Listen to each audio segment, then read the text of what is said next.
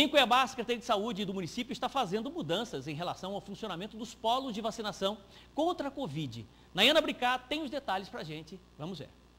Ulisses levou os dois filhos para receberem a primeira dose da vacina contra a Covid-19. Sem saber das mudanças dos polos de vacinação em Cuiabá, ele foi até o Senai, na Avenida 15 de Novembro, no bairro Porto. Mas o local, desde o dia 3 de dezembro, não atende mais o público. Fui no Senai, chegou lá e fui informado que tinha transferido o polo aqui para o Unic e a gente veio aqui para o Unic. Achou mais prático aqui? Aqui está bem tranquilo, né? Bem, até que está confortável. A localização? Também é fácil de achar. Ele teve que andar um pouco mais até a Universidade de Cuiabá, que fica na Avenida Beira Rio, que agora é o novo polo de vacinação. E lá foi tudo muito rápido. Depois de poucos minutos, os dois logo foram imunizados. E aí, o que o senhor achou do atendimento? Foi rápido, foi tranquilo. Este passa a ser o principal polo de vacinação em Cuiabá, mas a procura ainda é pequena. No primeiro dia foram atendidas 150 pessoas. Atualmente são aplicadas em média 500 doses, mas a expectativa da Secretaria Municipal de Saúde é atender diariamente mil pessoas. Está começando a aumentar o movimento, né?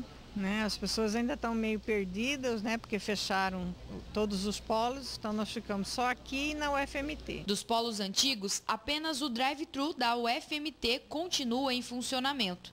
Além disso, a segunda dose e a dose de reforço são disponibilizadas nas unidades de saúde espalhadas pela cidade. No total, são 21 unidades básicas de saúde e dois polos centrais. Uma grande parte da população já foi vacinada, né? Porque nós estamos com uma cobertura de primeira dose de 90%, segunda dose 80%. Né? Isso falando no público de 18 anos e mais. Né? É, então, existe um pouco de pessoas que não querem fazer a vacina. Né? Inclusive, a gente está recebendo pessoas que estão vindo aqui alegando que perderam o cartão e que eles só querem o cartão em branco para poder substituir o outro, coisa que eles não vão conseguir. Dona Adelina também não sabia da mudança, ficou sabendo hoje pelo rádio e aproveitou para levar o neto para receber a segunda dose. Hoje, é, coincidentemente, eu estava escutando rádio, né? E aí a jornalista informou sobre esse local. Eu achei assim muito é, conveniente para mim que eu estava procurando, né? Um... É perto da casa da senhora? Não é tão perto, não. Eu moro no centro, né? Mas pelo menos eu já sabia a direção que eu ia, né? Mais prático, né? Sim, com certeza. Foi rápido? Bem, bem rápido. Bem prático vir aqui, mais rápido? Sim, achei mais rápido, bem mais rápido.